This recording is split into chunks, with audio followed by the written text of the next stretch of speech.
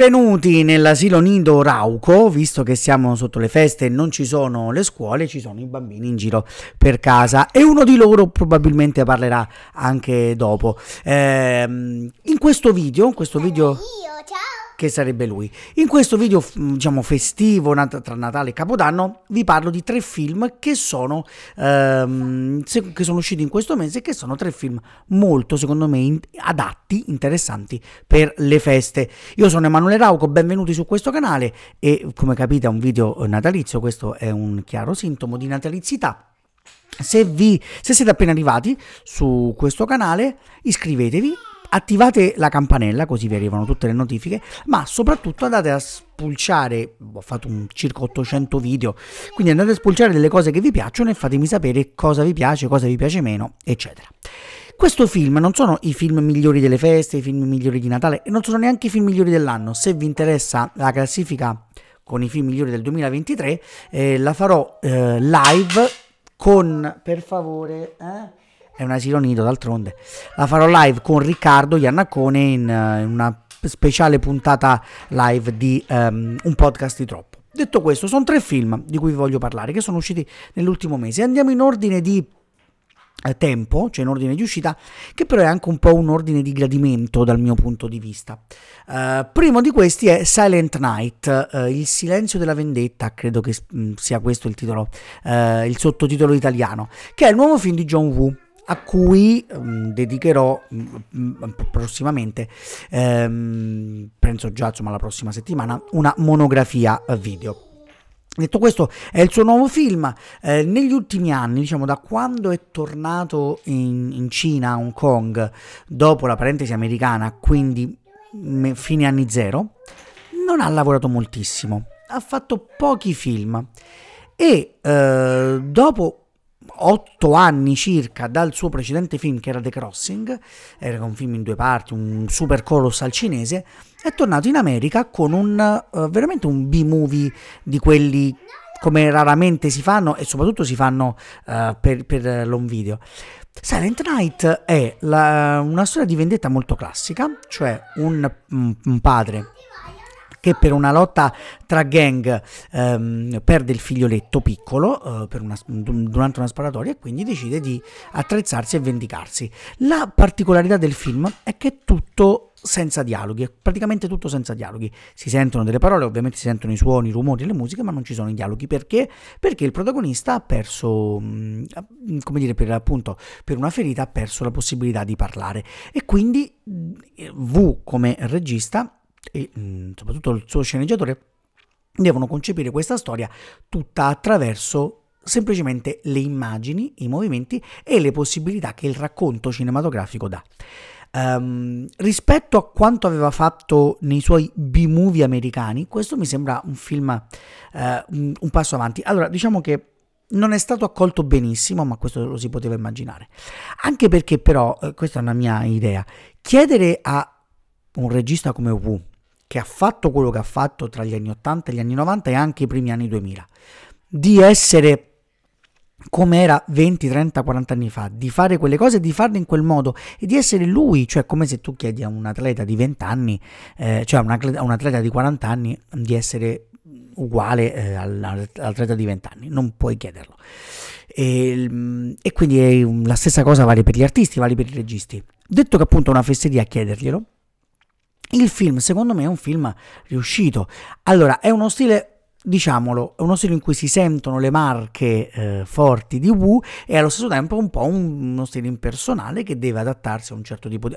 al cambiamento del mondo, al cambiamento del mercato, al cambiamento del cinema. Detto questo, quindi fatte salve tutti i difetti eh, proprio strutturali di produzione che un film del genere ha, a me è sembrato un film molto efficace nella narrazione, appassionante, avvincente, eh, estremamente ben realizzato nelle sequenze d'azione. Questo appunto uno dice grazie al ciufolo, essendo John Woo quello che è stato, però proprio per come è cambiato il mercato e come è cambiato il cinema non era detto e l'utilizzo della uh, computer grafica, che di solito è quello che ammazza certi tipi di prodotti, in questo caso è veramente ben dosato e ben curato. Ehm, ed è anche appunto con quegli elementi caratteristici tra azione, violenza e, ehm, e melò e pathos e sentimento è anche come dire commovente il finale poi è chiaro cuore di papà eh, e soprattutto per quel tipo di finale lì è davvero toccante quindi detto questo è un film che però appunto è un B-movie quindi sconta tutti i limiti, però è un film secondo me perfettamente eh, riuscito e consapevole dei suoi mezzi e del modo di gestire i suoi mezzi. Il secondo film di cui vi parlo è... Eh, mi serve qui il, dire, il, l'esperto perché Wonka che è il, il, musical uh, con Timothée Chalamet che racconta la giovinezza di Willy Wonka cioè prima che costruisse la fabbrica di cioccolato e l'ho visto insieme a lui allora tanto mm, chiedo direttamente a lui com'è il film ti è piaciuto? Bello senti ma mh, mm, cosa c'è di bello nel film? cosa ti è piaciuto di più? dimmi un po' uh, vediamo eh. Uh, adesso sto pensando. Adesso sto pensando, vabbè, insomma, eh, appunto racconta la giovinezza di, uh, di, di, Willy Wonka quando sbarca in questa grande città uh, per dare, dare, vita al suo sogno di diventare un grande maestro dolciario, soprattutto un grande maestro cioccolataio. E però si scontra tanto con le difficoltà della città, con le difficoltà del mercato, del capitalismo, ehm, del capitalismo, come dire, ehm, cattivo, tra virgolette, ci sarebbe poi da fare delle riflessioni sul capitalismo nel film, magari le faccio. Ehm, e deve appunto mettere insieme il suo fatto di avere questa grande passione per il cioccolato, ma anche con il fatto di essere sostanzialmente un mago se vi ricordate il vecchio film, sia quello con Jim Wilder sia quello con Johnny Depp, vi ricordate che appunto Wonka è anche un mago, forse soprattutto un mago prima che un... Dol, prima che una cosa. Vai, vai a prendere una cosa, che è un maestro dolciere, dol, dolciario, e raccontarlo appunto come fosse una grande fiaba di magia. Paul King, che è un regista eh, anche lui inglese, britannico, che è una delle quintessenze secondo me del cinema britannico recente e che ha fatto due film straordinari, che sono i due film di Paddington e in forza di quelli è stato poi chiamato da Warner Bros. per fare Wonka che è un musical, esattamente come era il vecchio film del 71. Devo salire. devi salire, devi dire qualcosa? Però da così devo dire qualcosa. Ah, beh, comunque tu ci fai. Tu sei qui, se c'è una cosa da dire, che tu sei l'esperto di Wonka, ce lo puoi dire. E il film, appunto, Paul King ha questa grande capacità di creare atmosfere fiabesche che allo stesso tempo non sono melenze, non sono mm, il gioco di parole banane, ma zuccherose eh, rispetto ad altri film, soprattutto rispetto ad altri mondi che eh, Hollywood e le major hanno creato. Cioè riesce a essere dolce, ovviamente, riesce a essere molto vivace, è una specie di versione per bambini di Wes Anderson come stile. E qui pur eh, calmierato rispetto a quella che è l'ottica di, eh, di Warner Bros. e quindi di un blockbuster, è un film che riesce a come dire, a tirar fuori uh, delle bellissime invenzioni visive, ci sono delle belle canzoni, ci sono dei momenti molto comici, cioè riesce a mettere insieme tutti gli ingredienti accontentando il, come dire, il pubblico, diciamo, di massa, più o meno, mm, che vuole vedere un tipo di film con i figli, con la famiglia, ma allo stesso tempo gli amanti dei due Paddington e di un tipo di film fiabesco però un pochino più raffinato, un pochino più elaborato, Udio. devi dire una cosa. No, devo no. Andare a prendere. Vabbè, ma quindi alla fine, aspetta, tu devi andare a prendere una cosa, va bene, però ti volevo chiedere, di a, a, chi, a chi, ci guarda, ma quindi il film ti è piaciuto? Sì. Tanto, poco? Eh, nel giusto? Nel giusto. Nel giusto. Lo rivedresti? Eh, sì. Che, mm, insomma, ci sono delle parti divertenti, queste sono le parti che ti hanno fatto più ridere o ti hanno più emozionato? Mi hanno fatto più ridere quella parte del capo della polizia che ci mangiava troppo cioccolato e aveva il pancione grosso. Ah, ok, quella parte ti ha fatto molto ridere. Ok, devi andare a prendere una cosa. Vedetela quella parte. Vedetela quella parte, ma vedetevi tutto il film, soprattutto con i bambini. Poi, se siete amanti del musical come me, anche da soli, secondo me il film ve lo, ve lo godete. E poi, vabbè, eh, dicevo, c'era quel discorso sul capitalismo. Non è un film anticapitalista come è stato scritto da qualche parte ma è un film che ragiona su un certo tipo di capitalismo, cioè è proprio un film come dire, con lo spirito americano, cioè l'imprenditore, eh, il, il, cosiddetto maverick, cioè l'imprenditore solitario, eh, l'imprenditore che fa tutto per il bene della propria azienda e dei propri dipendenti e del proprio pubblico e non, e che, e non, non entra nel, eh, dire, nei, nel fango del chiamiamolo così, capitalismo di Stato, cioè il capitalismo che diventa politica, il capitalismo che corrompe.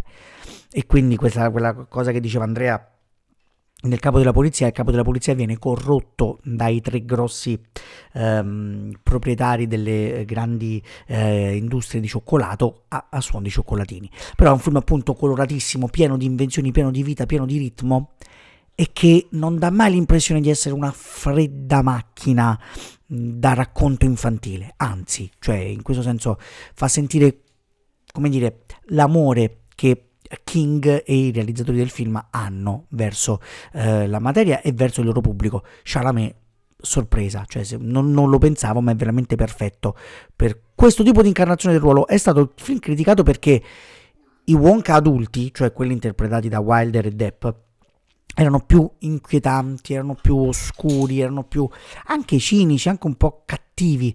Questo no. Allora, e sono due cose da dire. Allora, posto che è una scelta precisa e quindi come, come tale discutibile. È una scelta fatta per un certo tipo di pubblico e per un certo tipo di mercato e quindi anche questo è discutibile.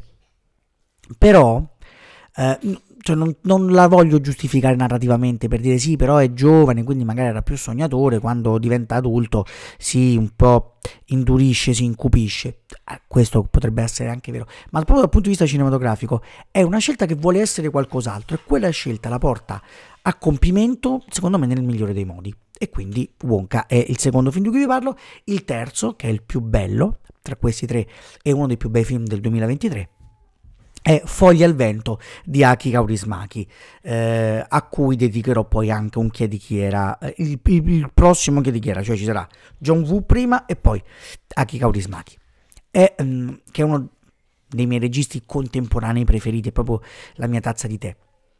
Foglie al vento è, eh, oserei dire, un carismachi in purezza, un distillato di Kaurismaki, cioè due disperati o quasi, cioè due persone comuni colti in un brutto momento della loro vita, eh, tutti e due più o meno licenziati per diversi motivi, lui perché dedito un po' troppo all'alcol, lei perché portava a casa dal supermercato in cui lavora eh, le cose che Mm, che stanno per scadere, che avrebbe dovuto buttare e che invece tiene per, per non sprecarle, per mangiarle e per risparmiare quindi, vengono licenziati e si incontrano un, po' per caso, un po' per sbaglio e si devono inseguire, cioè fingono di non di fregarsi l'uno dell'altro, in realtà sono profondamente innamorati di quell'amore molto laconico, molto silenzioso che è dei film di Kaurismäki e non solo, dei film nordici, però tu senti che c'è il, il sentimento, c'è l'emozione, questa è una delle grandi cose di Kaurismäki, cioè raccontarti i sentimenti